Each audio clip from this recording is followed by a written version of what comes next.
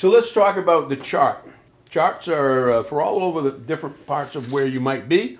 Uh, we're going to use this chart because this is used a lot in our books and a lot of the uh, Coast Guard exams and a lot of the practice exams that the Coast Guard will provide.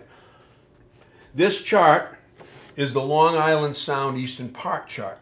Every chart's going to have its own name. For the charts that we use in school, we use charts that are for instructional purposes only. Okay, they are not up to date, so you don't want to go and navigate with them. So if you notice, it says not to be used for navigation. Every chart has a soundings. It's going to tell you what its soundings are. In this case, the soundings on this chart are in feet. And the chart is, is generally the low, lower water. So you can uh, determine that all of these little numbers that exist in the chart are the depth of the water at the mean lower low. We have uh, every chart will have a compass rose on it and use the compass rose closest to where you are when you're plotting and we'll talk about that in a little bit.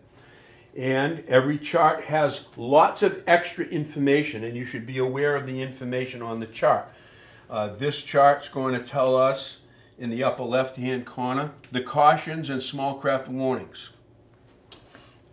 In the upper right part of the chart, we're going to have the soundings in feet at mean lower low.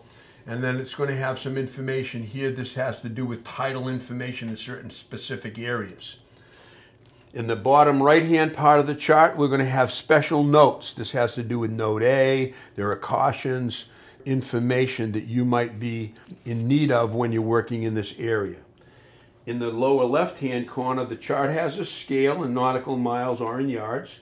Other notes, for example, this says note C, danger areas, other cautionary areas.